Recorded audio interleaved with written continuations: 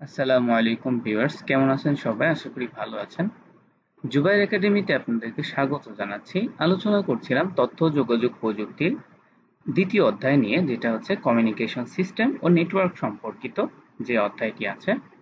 এটি হচ্ছে মুজিবুর রহমান স্যারের বইয়ের যে স্লাইড সেখান থেকেই আলোচনা করা হচ্ছে। এগুলো স্যারের পক্ষ থেকে আমাকে পাঠানো হয়েছে। তো বিভিন্ন ব্যস্ততার কারণে আস্তে আস্তে করার সবগুলো চেষ্টা করছি। এ পর্যন্ত ক্লাস যতগুলো করা হয়েছে, সব অধ্যায়েরই করা আছে আগের যারা আইসিটি পড়েছেন তাদের জন্য। এবং নতুন সিলেবাস অনুযায়ী মোটামুটি চ্যাপ্টার ওয়ানটা কাভার করা হয়েছে চ্যাপ্টার টুটা একটা লেকচার হয়েছে, আপনার প্লেলিস্ট থেকে দেখে নেবেন। চলুন শুরু করা যাক। আর ভিডিওটা ভালো লাগলে অবশ্যই সাবস্ক্রাইব করে রাখুন এবং লাইক দিতে ভুলবেন না। আজকে আমরা যে বিষয়গুলো নিয়ে জানব সেটা হচ্ছে ব্যান্ডউইথ বা ডেটা কমিউনিকেশনের যে স্পিড ডেটা ট্রান্সফার মেথড এখানে আমরা সমান্তরাল ও অনুক্রম ডেটা ট্রান্সমিশন এরপরে জানব হচ্ছে বিট সিনক্রোনাইজেশন অ্যাসিনক্রোনাস সিনক্রোনাস ও আইসোক্রোনাস ডেটা ট্রান্সমিশন এই বিষয়গুলো সম্পর্কে আমরা আজকে মূলত জানব। ব্যান্ডউইথ প্রথমে আমরা জানব, সেটা হচ্ছে যে ব্যান্ডউইথ বা ডেটা ট্রান্সমিশন স্পিড এটা আসলে কি? এক স্থান হতে অন্য স্থানে কিংবা এক কম্পিউটার হতে অন্য কম্পিউটারে ডেটা স্থানান্তরের হারকে ডেটা ট্রান্সমিশন স্পিড বলে। এই ট্রান্সমিশন স্পিডকে অনেক সময় ব্যান্ডউইথ বলা হয়। এই ব্যান্ডউইথ সাধারণত বিট পার সেকেন্ড বা বিপিএস এ হিসাব করা হয়। একে ব্যান্ড স্পিডও বলা হয়। অর্থাৎ প্রতি সেকেন্ডে যে পরিমাণ বিট ট্রান্সমিট করা হয় তাকে বিপিএস বা ব্যান্ডউইথ বলে। এই ডেটা ট্রান্সফার গতির উপর ভিত্তি করে কমিউনিকেশন গতিকে তিন ভাগে ভাগ করা হয়, যথা ন্যারো ব্যান্ড ভয়েস ব্যান্ড এবং ব্রডব্যান্ড আমরা সবাই এই ব্রডব্যান্ডের সাথে খুবই পরিচিত। আমরা অনেকে বলি যে আমাদের বাসা বাড়িতে ব্রডব্যান্ড লাইন আছে, বা আমরা যে ইন্টারনেটটা ব্যবহার করছি সেটা ব্রডব্যান্ড এবার চলুন আমরা জানি যে ন্যারো ব্যান্ড এটা আসলে কি। ব্যান্ডউইথের যে স্পিডের জন্য যেই ইয়েগুলো জানলাম ন্যারো ব্যান্ড ভয়েস ব্যান্ড এবং ব্রডব্যান্ড সেগুলো আমরা এবার একটু জানি। ন্যারো ব্যান্ড সাধারণত পঁয়তাল্লিশ থেকে তিনশো বিপিএস পর্যন্ত হয়ে থাকে। এই ডেটা স্থানান্তর গতিকে ন্যারো ব্যান্ড বা সাব ভয়েস ব্যান্ড বলে। এই ব্যান্ড ধীর গতি ডেটা স্থানান্তরের ক্ষেত্রে ব্যবহার করা হয়। টেলিগ্রাফিতে উক্ত ব্যান্ডকে ব্যবহার করা হয়। ভয়েস ব্যান্ড কি? এই ব্যান্ডের ডেটা গতি নয় হাজার ছয়শো বিপিএস পর্যন্ত হয়ে থাকে। এটি সাধারণত টেলিফোনে বেশি ব্যবহার করা হয়। তবে কম্পিউটার ডেটা কমিউনিকেশনে কম্পিউটার থেকে প্রিন্টারে ডেটা স্থানান্তরের ক্ষেত্রে কিংবা কার্ড রিডার থেকে কম্পিউটারে ডেটা স্থানান্তরের ক্ষেত্রে এই ব্যান্ডউইথ ব্যবহার করা হয়। তাছাড়া টেলিফোন লাইনেও এই ব্যান্ডউইথ ব্যবহার করা হয়ে থাকে। ব্রডব্যান্ড যেটা আমরা সবচেয়ে বেশি আমাদের প্রচলিত বা আমরা যারা সবাই চিনি, সেটা কি? সেটা হচ্ছে ব্রডব্যান্ড উচ্চ গতি সম্পন্ন ডেটা স্থানান্তর ব্যান্ডউইথ যার গতি কমপক্ষে ওয়ান মেগাবিট পার সেকেন্ড বা এমবিপিএস হতে অত্যন্ত উচ্চ গতি, যেমন এক গিগা বিট পার সেকেন্ড বা জিবিপি জিবিপিএস পর্যন্ত হয়ে থাকে। সাধারণত কোয়েক্সিয়াল কেবল অপটিক্যাল ফাইবারে ডেটা স্থানান্তরে ব্রডব্যান্ড ডেটা ট্রান্সমিশন ব্যবহার করা হয়। তাছাড়া স্যাটেলাইট কমিউনিকেশন এবং মাইক্রোওয়েভ কমিউনিকেশনেও এই ব্যান্ড ব্যবহার করা হয়ে থাকে। এই যে দেখুন, আমরা একটা চিত্রে দেখতে পাচ্ছি ব্যান্ডউইথ। এখানে সুন্দর করে চিত্রটা দেখানো আছে।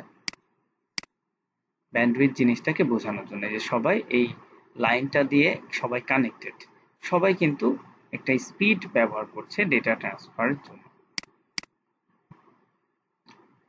এবার আসুন আমরা জানি যে ডেটা ট্রান্সমিশনের কিছু পদ্ধতি আছে। একটা হচ্ছে যে ট্রান্সমিশনের প্রথম পদ্ধতি যেটা, সেটা হচ্ছে সমান্তরাল বা প্যারালাল ডেটা ট্রান্সমিশন আর দুই নম্বর যেটা, সেটা হচ্ছে অনুক্রম বা সিরিয়াল ডেটা ট্রান্সমিশন প্যারালাল বা সমান্তরাল ডেটা ট্রান্সমিশনটা কেমন? যে প্রত্যেকটা ডেটা যাওয়ার জন্য ডেডিকেটেড লাইন থাকবে, আলাদা আলাদা লাইন থাকবে। এখানে সেটাই বলেছে যে দেখুন, প্রেরক ও প্রাপকের মধ্যে সমান্তরালভাবে ডেটা চলাচল করলে তাকে সমান্তরাল বা প্যারালাল ডেটা ট্রান্সমিশন বলে। যেমন একটি তার বা কেবলের ভিতর দিয়ে এক বাইট বা আট বিট পাশাপাশি আটটি পৃথক লাইনের মাধ্যমে আদান প্রদান করতে পারে। উদাহরণস্বরূপ প্রেরককে প্রাপকের কাছে স্থানান্তর করছে। সুবিধা কি প্যারালাল ডেটা ট্রান্সমিশন পদ্ধতিটি দ্রুত গতি সম্পন্ন কারণ একসাথে অনেক বিট ডেটা যুগপৎ ভাবে চলাচল করতে পারে। প্যারালালে সুবিধা কি? অনেক দ্রুত ডেটাটা যেতে পারে, কারণ যেহেতু সবগুলোর জন্য ডেডিকেটেড লাইন আছে। অসুবিধা কি? প্যারালাল ডেটা ট্রান্সমিশন পদ্ধতিতে একই সময়ে এন বিট ডেটা ট্রান্সমিশন করার জন্য পৃথক এনটি লাইন প্রয়োজন হয়, যা ব্যয় সাপেক্ষ অনেক। দেখুন এন বলতে কি, যদি আমাদের এখানে দেখুন আট বিট আছে তো আমরা যদি আট বিটের ডেটা এখানে দিই, তার মানে কি আটটা লাইনই আমার থাকতে হবে। তাহলে এটা একটা বিশাল ব্যয়বহুল ব্যাপার হয়ে যাবে, ঠিক আছে? আরেকটা যে আমাদের ইয়ে আছে, সেটা হচ্ছে সিরিয়াল ডেটা ট্রান্সমিশন এখানে কি হয় যে ডেটাগুলো একটার পিছনে একটা যেতে থাকে। ধরুন, আপনারা যখন লাইনে দাঁড়ান না, একজনের পিছনে আরেকজন এইভাবে যেতে থাকে যদি আমরা ছোটবেলায় ওই যে ট্রেন খেলা খেলেছি না? ট্রেন পু ঝিকঝিক ঝিকঝিক করে। তো মনে করুন, ডেটা একটার পর একটা যেতে থাকবে। সিরিয়ালি। এই জন্য এটাকে বলা হচ্ছে সিরিয়াল কমিউনিকেশন। তো এই কমিউনিকেশনটা কেমন? দেখুন, যে ডেটাগুলো আগে প্রথমে এখান থেকে এই যে প্যারালাল টু সিরিয়াল কনভার্টারের মাধ্যমে সিরিয়ালি ডেটাগুলো যায়, যেখানে এই পাশে এমএসবি আছে মোস্ট সিগনিফিক্যান্ট বিট এখানে আছে এলএসবি লিস্ট সিগনিফিক্যান্ট বিট এটা একটা সিঙ্গেল লাইন দিয়ে এটা যেতে থাকে। ওই পাশে গিয়ে আবারও সিরিয়াল টু প্যারালাল কনভার্টার দিয়ে আবারও এটাকে কনভার্ট করে রিসিভারের কাছে পাঠিয়ে দেওয়া হয়। এখন, এটা আবার কিছু সুবিধা, অসুবিধা আছে। চলুন আমরা একটু দেখি। সেটা হচ্ছে যে, এর সুবিধা কি? এই চিত্রটা একটু দেখুন, তাহলে বুঝতে পারবেন। এখানে দেখুন, একটা কনভার্টার ইউজ হচ্ছে, তাই না? আর এই যে ডেটাগুলো যাচ্ছে, এখানে বলা হচ্ছে যে দেখুন, অনুক্রম বা সিরিয়াল ডেটা ট্রান্সমিশন পদ্ধতিতে ডেটা চলাচলের জন্য মাত্র একটি লাইন বা পথের প্রয়োজন হয়। ফলে কম খরচে ট্রান্সমিশন লাইন অনেক দূর পর্যন্ত বিস্তৃত করা যেতে পারে। এই পদ্ধতিতে একটিমাত্র লাইন ব্যবহারের কারণে ট্রান্সমিশনে বিলম্ব জনিত কোনো সিনক্রোনাইজেশনের প্রয়োজন হয় না। অসুবিধা কি? একই সময়ে একটিমাত্র বিট স্থানান্তরিত হয়। ফলে এটি ধীর গতি সম্পন্ন প্রক্রিয়া। এই পদ্ধতিতে উৎস গন্তব্যে ডেটাকে কোডে রূপান্তরের জন্য বিশেষ কনভার্টার যেমন ইউএআরটি বসাতে হয়, যা সার্বিক ট্রান্সমিশন ব্যয় বৃদ্ধি করতে পারে। উদাহরণ হিসেবে দেখুন R S two three two যে প্রোটোকল ব্যবহার করে কম্পিউটার ও মডেমের সংযোগ করা হচ্ছে, তাছাড়া ইউএসবি ইন্টারফেস ব্যবহার করে যে কোনো ডিভাইসের সাথে কম্পিউটারের সংযোগ হলো সিরিয়াল সংযোগ। তো এই কমিউনিকেশনে প্রত্যেকটা কমিউনিকেশনের তাহলে আমরা দেখলাম যে কিছু সুবিধা আছে, কিছু অসুবিধা আছে। বিট সিনকোনাইজেশন সম্পর্কে এবার আমরা জানব। সিরিয়াল ডেটা ট্রান্সমিশন পদ্ধতিতে প্রেরক থেকে প্রাপকে ডেটা ট্রান্সমিশন হওয়ার সময় অবশ্যই এমন একটি সমঝোতা থাকা দরকার যাতে সিগন্যাল বিটের শুরু ও শেষ বুঝতে পারে। বিটের শুরু ও শেষ বুঝতে না পারলে প্রাপক সেই সিগন্যাল থেকে ডেটা পুনরুদ্ধার করতে পারে না। কাজেই অনুক্রম বা সিরিয়াল ডেটা ট্রান্সমিশন পদ্ধতিতে সিগন্যাল পাঠানোর সময় বিভিন্ন বিটের মধ্যে সমন্বয়ের জন্য ব্যবহৃত পদ্ধতিকে বলা হয় বিট সিনক্রোনাইজেশন কাকে বিট সিনক্রোনাইজেশন বলছি?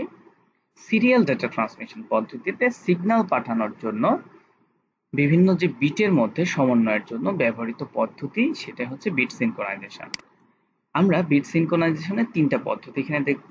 একটা হচ্ছে যে অ্যাসিনক্রোনাস ট্রান্সমিশন একটা হচ্ছে সিনক্রোনাস ট্রান্সমিশন একটা হচ্ছে আইসোক্রোনাস ট্রান্সমিশন এই দেখুন ডেটা ট্রান্সমিশনের ভিতরে প্যারালাল আর সিরিয়াল আমরা জানলাম। এর ভিতরে সিরিয়ালের ভিতরে এই তিনটা ভাগ আছে সিনক্রোনাস সিনক্রোনাস এবং আইসোক্রোনাস আমরা এখন এই বিষয়গুলো নিয়ে জানব। যে ডেটা ট্রান্সমিশন সিস্টেমে প্রেরক হতে ডেটা গ্রাহকের কাছে ক্যারেক্টার বাই ক্যারেক্টার ট্রান্সমিট হয়, তাকে অ্যাসিনক্রোনাস ট্রান্সমিশন বলে। এই ডেটা ট্রান্সমিশনের প্রধান বৈশিষ্ট্য হল, প্রেরক যে কোনো সময় ডেটা ট্রান্সমিট করতে পারবে এবং গ্রাহকও তা গ্রহণ করতে পারবে। একটি ক্যারেক্টার ট্রান্সমিট হওয়ার পর আরেকটি ক্যারেক্টার ট্রান্সমিট করার মাঝখানে বিরতি সবসময় সমান না হয়ে ভিন্ন ভিন্ন হতে পারে।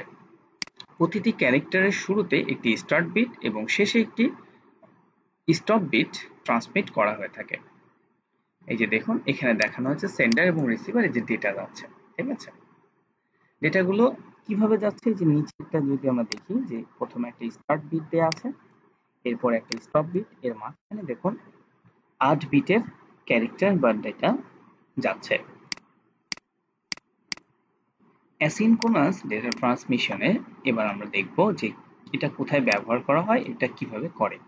অ্যাসিনক্রোনাস ডেটা ট্রান্সমিশনকে স্টার্ট স্টপ বিট ট্রান্সমিশনও বলা হয়। তাহলে এটা মনে রাখতে হবে।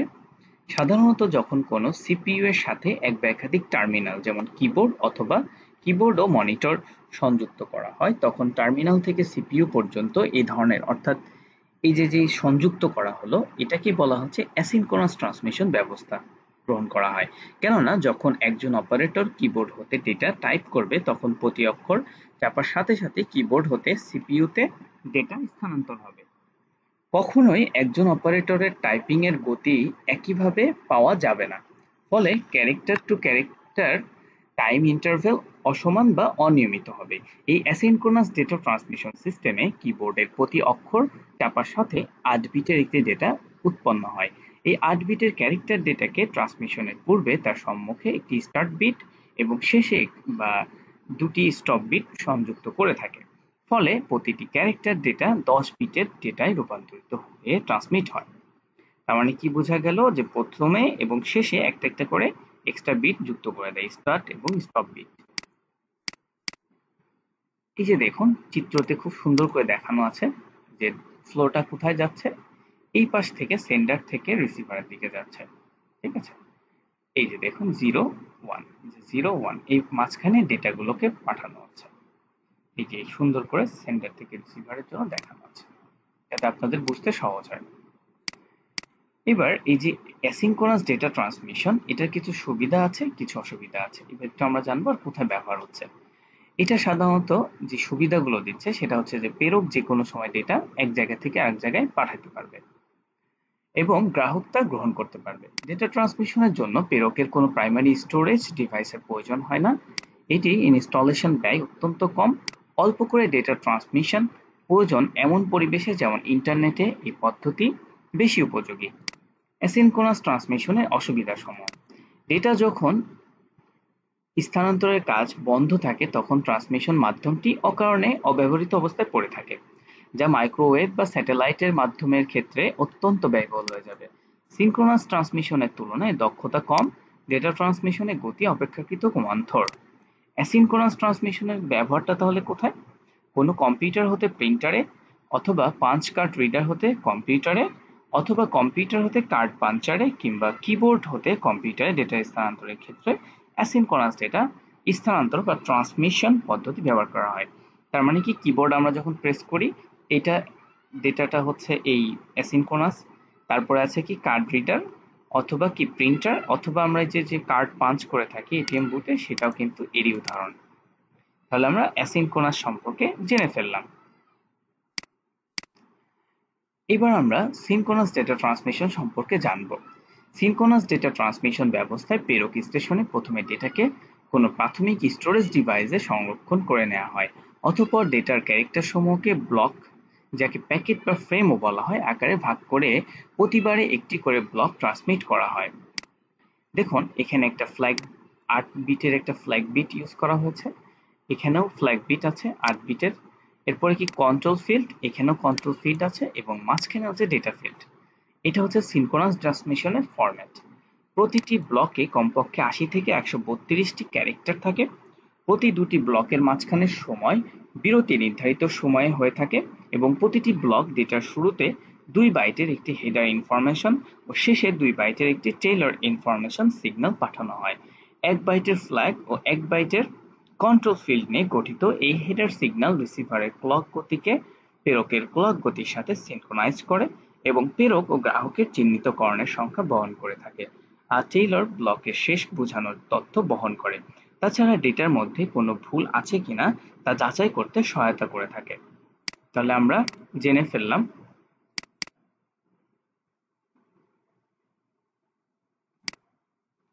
এবার আমরা দেখব সিনক্রোনাস ডেটা ট্রান্সমিশনের সুবিধা এবং অসুবিধাগুলো। এখানে দেখুন চিত্রে কিন্তু ডেটা ফ্লোটা দেখানো আছে। সিনক্রোনাস ডেটা ট্রান্সমিশনের সুবিধাসমূহ। সিনক্রোনাস ট্রান্সমিশনের দক্ষতা বা ইফিসিয়েন্সি অ্যাসিনক্রোনাসের তুলনায় অপেক্ষাকৃত বেশি। অবিরাম ট্রান্সমিশন কাজ চলতে থাকার ফলে তার ট্রান্সমিশন গতি অপেক্ষাকৃত বেশি থাকে। প্রতি ক্যারেক্টারের শুরু ও শেষে স্টার্ট এবং স্টপ বিটের প্রয়োজন হয় না। প্রতি ক্যারেক্টারের পর টাইম ইন্টারভেলের প্রয়োজন হয় না। তুলনামূলকভাবে কম সময় লাগে। সিনক্রোনাস ডেটা ট্রান্সমিশনের অসুবিধা আছে কিছু, সেটা কি? পেরেক স্টেশনে একটি প্রাথমিক সংরক্ষণের ডিভাইসের প্রয়োজন হয়। এটি তুলনামূলকভাবে ব্যয়বহুল। তাহলে আমরা অ্যাসিনক্রোনাস এবং সিনক্রোনাস ডেটা ট্রান্সমিশন সম্পর্কে জেনে ফেললাম।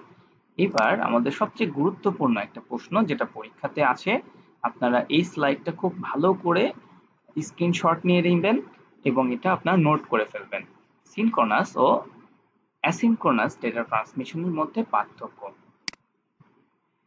সিনক্রোনাস এবং অ্যাসিনক্রোনাস দেখুন প্রথমে অ্যাসিনক্রোনাস এবং সিনক্রোনাস দেখানো আছে। এক নাম্বার হচ্ছে কি? যে ডেটা ট্রান্সমিশন সিস্টেমে প্রেরক হতে data গ্রাহকে character by character data transmit হয় তাকে অ্যাসিনক্রোনাস ট্রান্সমিশন বলে। আর সিনক্রোনাস কি? যে ডেটা ট্রান্সমিশন ব্যবস্থায় প্রেরক স্টেশনে ডেটার ক্যারেক্টার সমূহকে ব্লক যাকে প্যাকেটও বলা হয়। আকারে ভাগ করে প্রতিবারে একটি করে ব্লক ট্রান্সমিট করা হয়, তাকে সিনক্রোনাস ট্রান্সমিশন বলে। অ্যাসিনক্রোনাস ট্রান্সমিশন ব্যবস্থায় প্রেরক স্টেশনে প্রথমে ডেটাকে কোনো প্রাথমিক স্টোরেজ ডিভাইসে সংরক্ষণ করার প্রয়োজন হয় না। আর সিনক্রোনাসের ক্ষেত্রে সিনক্রোনাস ট্রান্সমিশন ব্যবস্থায় প্রেরক স্টেশনে প্রথমে ডেটাকে কোনো প্রাথমিক স্টোরেজ ডিভাইসে সংরক্ষণ করে নেওয়া হয়।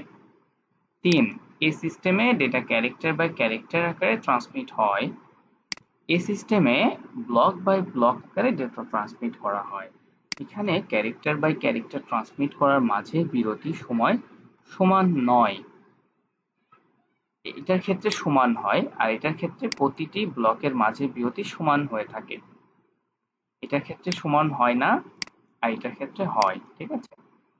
এ ধরনের ট্রান্সমিশনে দক্ষতা কম, এ ধরনের ট্রান্সমিশনে দক্ষতা বেশি। পুরো ডেটা ট্রান্সমিশন হতে তুলনামূলক সময় বেশি লাগে। আর সিনক্রোনাসে এখানে তুলনামূলক সময় কম লাগে। এই ট্রান্সমিশন পদ্ধতিতে প্রতিটি ক্যারেক্টারের শুরুতে স্টার্ট বিট ও স্টপ বিট প্রয়োজন হয়।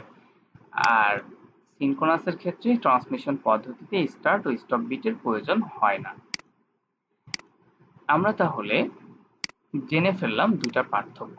এবার আমরা জানব আইসোক্রোনাস আইসোক্রোনাস ডেটা ট্রান্সমিশনটা কেমন? আইসোক্রোনাস ট্রান্সমিশনকে সিনক্রোনাস ও অ্যাসিনক্রোনাস ট্রান্সমিশনের মিশ্র বৈশিষ্ট্যের পদ্ধতিও বলা যেতে পারে। এতে ডেটা চলাচলের ব্যান্ডউইথ নিশ্চিত করে প্রেরক ও প্রাপক স্টেশনের মধ্যে ব্লক আকারে কিন্তু অ্যাসিনক্রোনাস পদ্ধতিতে ডাটা ট্রান্সমিট বা স্থানান্তর করা হয়। এই পদ্ধতিতে পরপর দুটি ব্লকের মধ্যে বিরতি, সুষম ও সর্বনিম্ন প্রায় শূন্য রাখা হয়। মাল্টিমিডিয়া বা অডিও ভিডিও ডেটা পাঠানোর জন্য এই পদ্ধতি বেশি ব্যবহৃত হয়। মাল্টিমিডিয়া অ্যাপ্লিকেশনের জন্য সুষম বিট রেটে ডেটা আদান প্রদান জরুরি। অন্যথায় দেখা যাবে যে অনেক সময় ভয়েস চলে আসে, কিন্তু তার কথা সাথে কিন্তু তার ছবিটা এভাবে নড়াচড়া করে না। এই সমস্যাগুলো দেখবেন ভিডিও কলে হয়। অন্যথায় মাল্টিমিডিয়া অডিও ভিডিও ইত্যাদি ডেটা ট্রান্সফারে বিলম্ব বা ডিলে তৈরি হয়ে যাবে। এই বিলম্ব বা ডিলে যদি অসম হয়, তাহলে মাল্টিমিডিয়া ডেটা অর্থবহ হবে না বা প্রাপকের কোনো কাজে আসবে না। কাজেই সুষম বিট রেট পাওয়ার জন্য আইসোকোনাস ডেটা ট্রান্সমিশন পদ্ধতি ব্যবহার করা হয়। এই ট্রান্সমিশন পদ্ধতিতে ডেটা ব্লক যথাযথভাবে প্রাপক পেয়েছে কিনা তা খতিয়ে দেখার উপায় ও ভুল সংশোধন করার ব্যবস্থা নেই। এজন্য সকল ক্ষেত্রে এটি নির্ভরযোগ্য পদ্ধতি নয়। ডেটা ট্রান্সমিশনের দক্ষতা কীভাবে বের করা হয়? আমরা এবার জানব। ডেটা ট্রান্সমিশন দক্ষতা বলতে প্রকৃত ডেটার পরিমাণ ও ট্রান্সমিশনকৃত ডেটার পরিমাণের অনুপাতকে বোঝায় গাণিতিকভাবে। ট্রান্সমিশন বা ইফিসিয়েন্সি যেটাকে আমরা বলছি, এটাকে এইভাবে লেখা হয় যে প্রকৃত ডেটা মোট ডেটা ইন্টু একশো পার্সেন্ট এখানে প্রকৃত ডেটা বলতে ইনপুট ডেটা যা ট্রান্সমিট করা হবে তাকে বোঝায়। মোট ডেটা বলতে প্রকৃত ডেটা এবং এই ডেটা ট্রান্সমিট করতে প্রয়োজনীয় overhead data parity start stop header trailer ইত্যাদি সমষ্টিকে বোঝায়। আমরা তাহলে কর্মদক্ষতাটা কীভাবে বের করতে পারব ইফিসিয়েন্সিটাকে কীভাবে বের করতে পারব সেটা দেখলাম। আমরা একটা গাণিতিক সমস্যাও দেখে ফেলি। টেন কিলোবাইট বা ওয়ান কেবি ডেটা আদান প্রদানের ক্ষেত্রে অ্যাসিনক্রোনাস ও সিনক্রোনাস ট্রান্সমিশন পদ্ধতির দক্ষতা নির্ণয় করো। সমাধানটা আমরা দেখি। আমরা জানি এক বাইট সমান সমান আট বিট সুতরাং প্রকৃত ডেটা যদি টেন কিলোবাইট হয়, তাহলে টেন ইন্টু এইট দিয়ে গুণ করে দিলে আশি কিলো বিট হচ্ছে। এইবার এটাকে এক হাজার দিয়ে আশিকে গুণ করে দিলে কত হবে? দেখুন এখানে হচ্ছে আশি হাজার বিট অ্যাসিনক্রোনাস পদ্ধতিতে কি হয়? আচ্ছা এটা কেন এইটা করা হলো? এটা হচ্ছে কিলো বিট ছিল, এই যে এখানে দেখুন কিলো বিট এই কারণে এক হাজার দ্বিগুণ করলাম বিটে কনভার্ট করে নিলাম। অ্যাসিনক্রোনাস পদ্ধতিতে দেখুন প্রতি আট বিটের সাথে একটি স্টার্ট বিট ও দুইটি স্টপ বিট যুক্ত হয়। কাজেই প্রতি আট বিট ডেটা ট্রান্সমিশনের জন্য ওভারহেড বিট প্রয়োজন। তিন বিট স্টার্ট ওয়ান বিট এবং স্টপ টু বিট সুতরাং আশি হাজারের সাথে যদি আমরা এটাকে এইভাবে ধরি, যে তিন বিট যেহেতু এক্সট্রা আছে, তাহলে থ্রি বাই এইট ইন্টু আশি হাজার এটাকে করলাম। কেন? তিন বিট হচ্ছে যে ওভারহেড বিট আর এই যে আট বিট হচ্ছে প্রতি ডেটা ট্রান্সমিটের জন্য।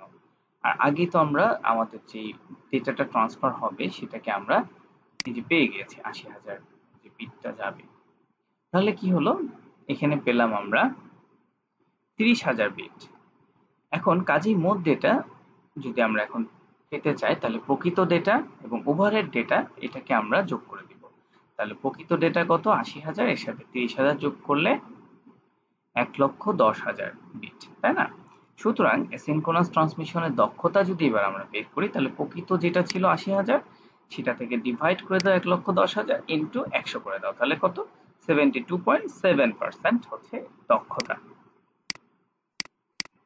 এইবার সিনক্রোনাস পদ্ধতিতে কীভাবে ক্যালকুলেশন করব? ধরা যাক ব্লক সাইজ আশি বাইট তাহলে কত হবে? আশি ইন্টু আট, তাহলে ছয়শো চল্লিশ বিট প্রতিটি ব্লক প্রেরণ করার জন্য দুই বাইট হেডার ও দুই বাইট ট্রেলার মোট চার বাইট আরও এক্সট্রা লাগবে, তাহলে চার ইন্টু আট, কত হচ্ছে বত্রিশ বিট ডেটার প্রয়োজন হবে এক্সট্রা কাজেই প্রতি ছয়শো চল্লিশ বিট ডেটা ট্রান্সমিশনের জন্য ওভারহেড বিট প্রয়োজন বত্রিশ বিট তাহলে সুতরাং, তাহলে আশি হাজার বিট ডেটা ট্রান্সমিশনের জন্য ওভারহেড কত প্রয়োজন হবে? এই যে বত্রিশটাকে ছয়শো চল্লিশ ভাগ করে দিব এবং আশি হাজার দিয়ে গুণ করে দিব, তাহলে কত হবে? এটা হবে চার হাজার বিট এইবার কাজে মোট ডেটাটা আমরা কীভাবে পাবো? প্রকৃত যে ডেটা এবং ওভারহেড ডেটা মানে যেটা এক্সট্রা ভাবে আমরা সামনে সেট করছি, সামনে এবং পিছনে। তো প্রকৃত ডেটা হচ্ছে আশি হাজার বিট ঠিক আছে? এর সাথে আমরা চল্লিশ চার হাজার এটাকে যোগ করব, তাহলে কত হবে? চুরাশি হাজার বিট সুতরাং এইবার আমরা প্রকৃত ডেটা যেটা, আশি হাজার, এটার সাথে যদি আমরা এই চুরাশি হাজারকে ডিভাইড করে একশো দিয়ে গুণ করে দিই, তাহলে আমরা কত পাচ্ছি? Ninety five point two four percent খুবই সহজে এই অঙ্কগুলো এখানে দেখানো হয়েছে। আশা করব আপনারা বাসায় প্র্যাকটিস করবেন। কোনো প্রশ্ন থাকলে অবশ্যই কমেন্ট সেকশনে প্রশ্ন করতে ভুলবেন না লাইক দিতে ভুলবেন না। ভালো থাকবেন সবাই। আসসালামু আলাইকুম রহমতুল্লাহ।